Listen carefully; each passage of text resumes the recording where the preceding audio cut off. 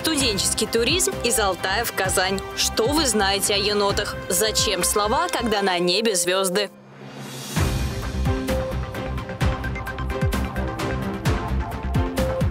Всем привет! В эфире «Univer News», а в студии Алина Красильникова. С 21 по 26 августа на базе Казанского федерального университета пройдет 23-я международная конференция по химической термодинамике в России. По словам директора Химического института имени Бутлерова Казанского университета Марата Зиганшина, на конференции в Казани ожидается более 200 участников из стран зарубежья, а также порядка 20 регионов Российской Федерации. Программой запланированы пленарные секционные доклады, стендовые сессии, а также экскурсии по республике и химическому институту Институту Казанского федерального университета для демонстрации существующей инфраструктуры и научного потенциала.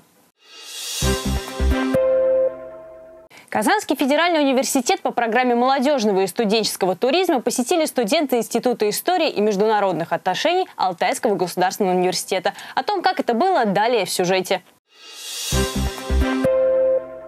Казанский федеральный университет по программе молодежного и студенческого туризма посетили 19 студентов Института истории и международных отношений Алтайского государственного университета, а также двое сотрудников этого вуза. Для них была организована встреча с представителями Департамента по молодежной политике КФУ, на которой им рассказали о том, как в Казанском университете организована работа со студентами.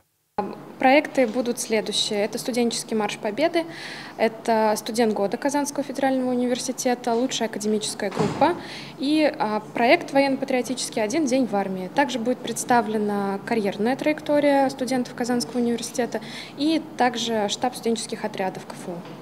После окончания встречи представители Алтайского государственного университета смогли посетить Музей истории Казанского университета и музей имени Николая Лобачевского. Конечно, экспонаты самые разнообразные, начиная от геологических, заканчивая историческими, но мне, как историку, конечно, больше всех а, произвело впечатление это студенческий путь Владимира Ильича Ленина. На тот момент это студент Ульянов.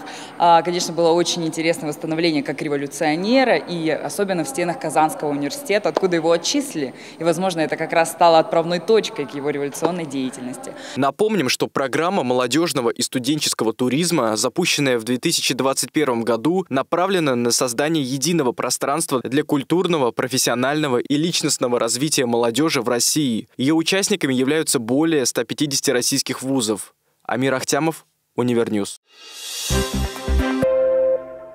Симпатичный, пушистый, чрезвычайно любопытный черно-белый зверек с шикарным длинным полосатым хвостом мало кому придется не по душе. О ком идет речь, узнаете в следующем сюжете. Енот-полоскун является одним из самых забавных представителей млекопитающих. Все дело в нраве этих зверьков. Так, еноты по своей природе очень озорные и одновременно общительные, миролюбивые, дружелюбные, легко идут на контакт с человеком, поэтому все чаще их стали заводить в качестве домашних животных. Но енот – это хищник, а значит полностью подчинить его или изменить природный нрав невозможно. Родина енота-полоскуна считается Северная и Центральная Америка, откуда впоследствии они были заведены на территорию Евразии с целью получения пушистых пушнины. Вот полоскон, здесь как раз он представлен. Э, достаточно обычный для североамериканского континента вид, который э, населяет э, территорию от Южной Канады до Центральной Америки. На всем протяжении своего ареала енот-полоскун показывает себя как вид очень пластичный, поскольку он занимает широкий спектр экологических ниш, питается самыми разнообразными какими-то компонентами растительно-животного происхождения.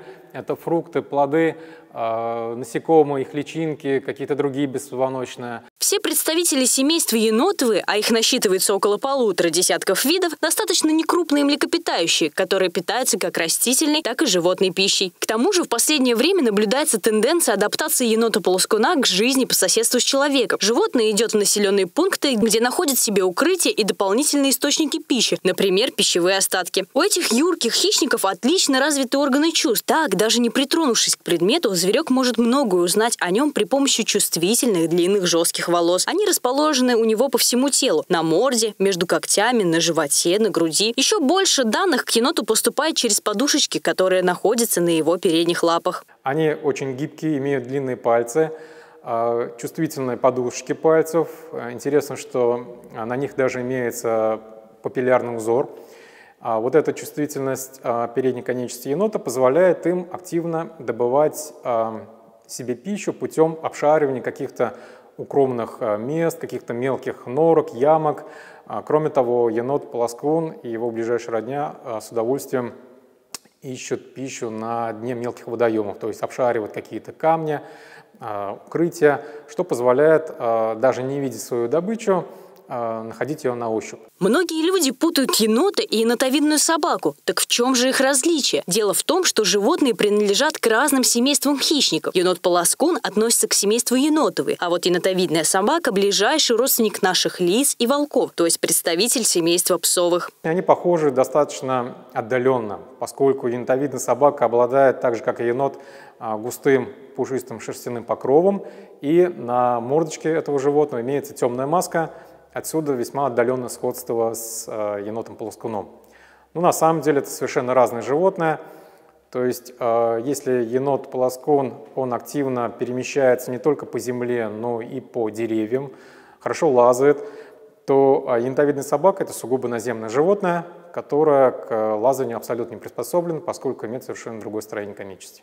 На территории России еноты-полоскуны хорошо освоили западные и восточные регионы Северного Кавказа, где превратились в опасный инвазионный вид, угрожающий местной флоре и фауне. Это связано с тем, что животные активно поедают местные виды амфибий и рептилий, которые находятся на грани вымирания. Алина Красильникова, Univer News.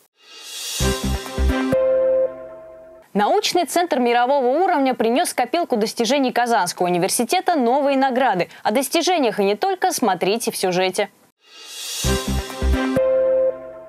Подведены итоги четвертого международного конкурса проектов в сфере образования 2022 года. В этом конкурсе на звание лучших претендуют представители высших профессиональных образовательных и научных организаций. В этом году научный центр мирового уровня также заявил о своем участии и принес копилку достижений Казанского университета новые награды. На конкурс было представлено одно пособие по анализу компонентного состава нефтей, написанное для студентов Института геологии и нефтегазовых технологий Казанского университета на английском и русском языках. Выбор темы был обусловлен курсом в рамках образовательного процесса, направленным на изучение физико-химических свойств нефти. Очень важной является тема определения компонентного состава нефти и газа. Это нужно для дальнейшего этапа численного моделирования, когда у нас есть уже все исходные сведения по составу нефти, а, то есть мы дальше можем уже производить расчеты последующие. И а, студенты эти расчеты тоже осваивают, то есть э, это как бы одна из э, частей нашего курса. Ну и в рамках этого мы создали как раз такое методическое пособие, значит, соответственно, которое подразумевает э, ряд практических работ по изучению составов нефтей. Научно-исследовательская составляющая пособий была разработана на базе научного центра мирового уровня «Рациональное освоение запасов жидких углеводородов планеты». У нас имеется э, газохроматографический комплекс «Аджилент», с помощью которого как раз-таки и мы определяем компонентный состав. Вначале производится калибровка хроматографа, э, и уже после калибровки э, закол двух образцов – как бы сама методика подразумевает закол чистой нефти и закол нефти со стандартом. Заколом называется введение пробы в хроматограф. Закол производится с помощью специальных шприцов небольших размеров. Газохроматограф оборудован двумя а, порты, порты для ввода пробы. И когда мы отобрали а, пробу в газохроматографический шприц, мы уже непосредственно вводим ее в порт. То есть а, происходит закол, мы вводим пробу и нажимаем как бы старт для анализа. После этого выходит хроматограмма, и сам анализ длится 36 минут.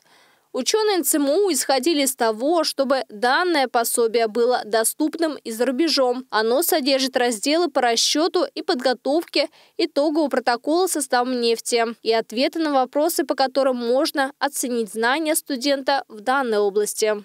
Елизавета Никитина, Александр Кузнецов, Универньюз. Август – месяц звездопадов. В ближайшие несколько дней жители северного полушария Земли станут свидетелями мощного метеорного потока Персиды. Как найти идеальное место для наблюдения за звездами, выясняла наш корреспондент Маргарита Михайлова. В ближайшие несколько ночей жители Казани станут свидетелями прохождения метеорного потока Персеиды. Его можно наблюдать каждый год примерно в одно и то же время. Однако в этот раз все по-особенному. Пик звездопада пришелся на полнолуние. Это значит, что наилучшее время для наблюдения за персеидами – предрассветные часы, когда Луна скрывается с небосвода. Вообще считается, что персеиды – это некий след, оставленный хвостом кометы Свифта Татла. Это комета, она имеет период обращения вокруг Солнца 135 лет. Последний раз, когда она близко была к нашей планете, это был 1992 год. Впервые персеиды были упомянуты в китайской летописи. Запись датируется 36 годом нашей эры. Это первый метеорный поток, который связали с определенной кометой. На протяжении столетий персеиды имели особое значение для жителей нашей планеты. Многие придавали им мистический смысл. Однако, если обратиться к науке, появление звездопада объяснить легко. Каждый метеорный поток имеет строгую орбиту. Именно поэтому звездопады наблюдаются в конкретные временные промежутки года, когда Земля проходит через точку пересечения собственной орбиты со шлейфом пылевых частиц от кометы. В данном случае комета Свифта-Татла. Когда она была именно близко, то есть хвост проходил прямо недалеко, то у нас был очень сильный поток метеоров. Эксперты отмечают, что наблюдать за звездопадом лучше всего вдали от больших городов. Лучше выбрать место, где меньше всего окружающего света, к примеру, берега водоемов или дача. Самый пик метеорного потока придется на предрассветные часы. Маргарита Михайлова, Александр Кузнецов, Универньюз. На этом все. В студии была Алина Красильникова. Сюжеты из выпуска ты сможешь найти в наших социальных сетях, а также на сайте телеканала. До новых встреч!